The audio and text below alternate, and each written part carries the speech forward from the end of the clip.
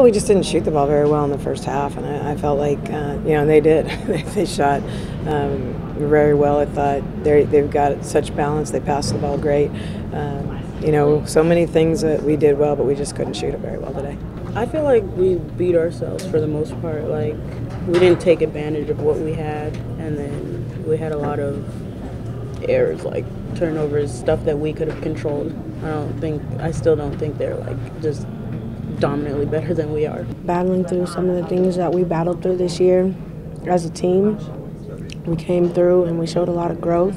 And to get this far, I think um, was something big.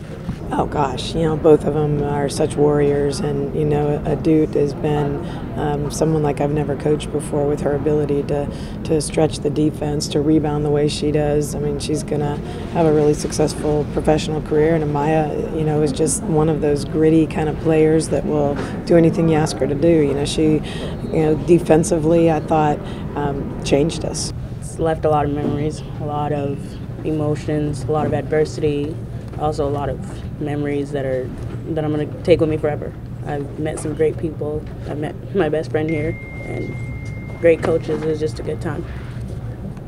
It's meant everything. Um, you know, my dream was to always play at the top level, Division One level, and uh, I got to do that here at a high level. And you know, to go far two years in a row it's a dream. I hope that we learn something from this year going forward, and uh, I, I, truly believe that uh, if we'll be a tougher basketball team, then we'll be a really good basketball team. And what I mean by tougher is that you know you've got to have the leadership that will step up and and really hold everyone accountable, and something that. Uh, I don't know that we had early this year. We expected it to happen, and we got to make it happen. And so I think that's the difference going into next year.